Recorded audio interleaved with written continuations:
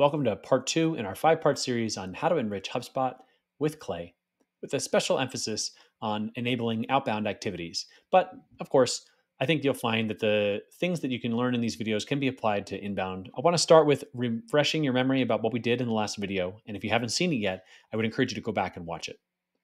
In the first video, we established our methodology for how we're using lists in HubSpot and then list sources in Clay to identify gaps in our CRM. The specific data that we found last time was LinkedIn profiles. And then we identified ones that were missing, found them, populated them, and moving forward, we're going to use those LinkedIn profiles for the rest of the videos in this series. So if you haven't done it yet, I really encourage you to watch that video or make sure that you have a LinkedIn profile property in HubSpot and that data in HubSpot so that you can use the rest of these throughout the rest of the series. We've got our lists here on the left in HubSpot, and I'm just going to jump into how we built them.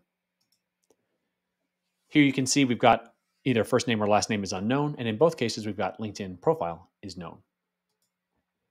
And the next one, we've got job title is unknown, but LinkedIn profile is known.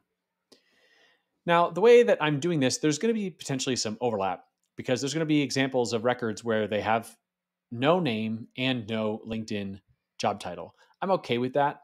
I'm okay with paying a little bit extra here in order to have more control and granular control over how we're doing the enrichments for each of these properties. So that's a deliberate choice.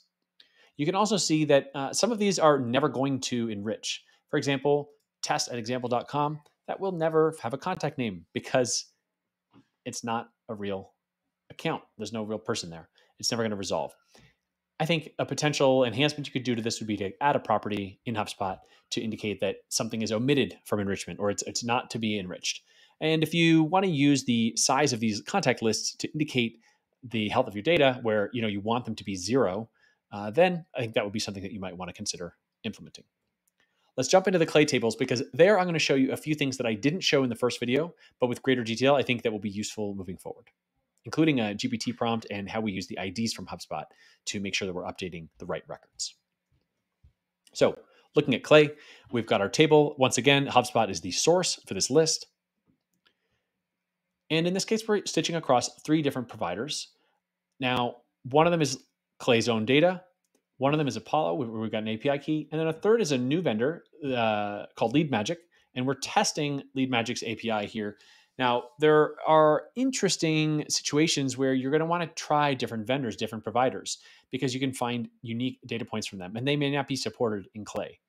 In a later video, I'm going to talk about how LeadMagic actually has a new API endpoint, and we're going to introduce that new LeadMagic API endpoint into a waterfall. I'm not going to talk about that right now. I just want to show that the benefit here is configurability and how you can change over time the way that you're doing this enrichment. You can reward more accurate or less expensive vendors or both. You have control basically over what you're paying for and when and why. There may be special requirements you have for your industry, and that's where this approach can be really helpful. Beyond knowing what's going into your system, you can have a lot of control over how it works. Now, on the left side, we've got that HubSpot source, we've got that ID. That ID is critical to make sure that we're updating the right contact in HubSpot once we get to the end of our table here on, on the right side of the clay table. I've got a merge column that's pulling across multiple different providers. And if, it, if the first one finds it, we're going to use that first name. If the second one finds it, we're going to use that one, third one down the line. And then we're going to take those name properties and push them over to HubSpot. This is what that merge looks like. This is what it looks like where it's pulling across multiple different providers and then combining it into a single cell. Here you can see the last names in this column. And lastly, here, what I've shown you is what the actual HubSpot enrichment looks like. Now, this is just an example, but here I really strongly recommend using that HubSpot contact ID instead of the contact email address. This will ensure that you're getting the right contact updated. And in this case, we're going to be updating their first and last name. Now, the use case here, beyond just having nice, clean data, is if you're going to be incorporating omni-channel outreach, cold calling, and things like that, it can be very useful to have the contact name of the person you're calling. And you know, depending on where you're sourcing leads from, you may not have it in the first place. This is going to be, I think, a really valuable sales enablement piece of data that um, teams, especially doing phones, are going to want. But you can also use it for variable personalization. You may be getting inbound leads through email signups, lead magnets on your website, where you're not getting this type of data. So there's other situations where it's useful. I think from a revenue perspective, cold calling is probably the most valuable um, situation where you want to make sure you have con- at least contact first names. Okay, now let's talk about job title.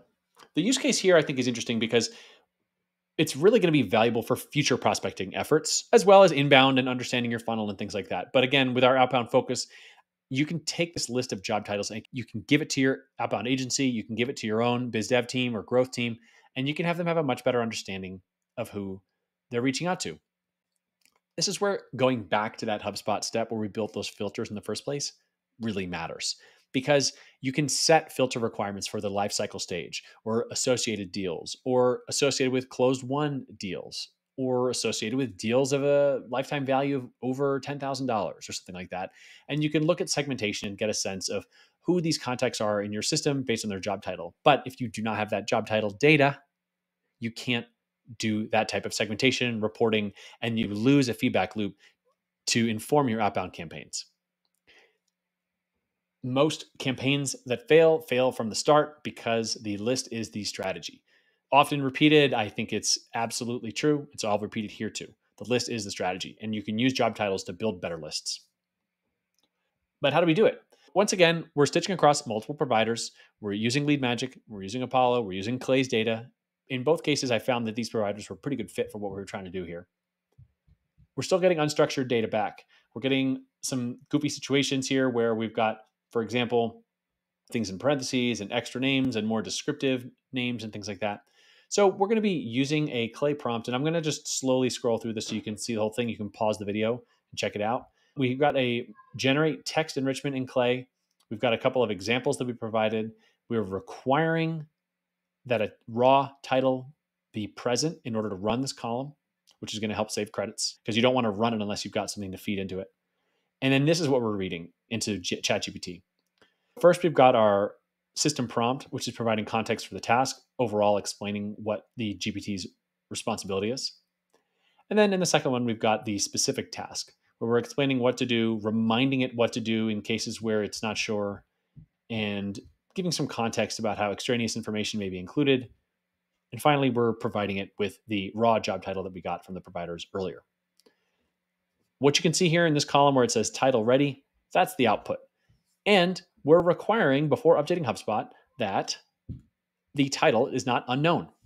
So this is a really useful way to make sure that you run this enrichment, clean up your data, but not introduce new data problems. I hope you found this helpful. Trying to drill down into a little more detail here, talk about some potential use cases.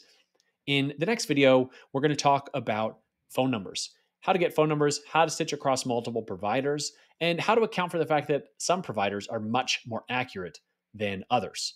And what do you do when you only have maybe one good one, but a second number that might be good, and you want to give your team options to stay on the phone and try to get in touch with this contact. This is something I've built out myself for our own prospecting and even inbound engagement efforts that I've found to be extremely useful. That's going to be in the next video. We're then going to talk about updating our waterfall once we discover new providers. And then finally, we're going to end with tracking job changes from your CRM using Clay.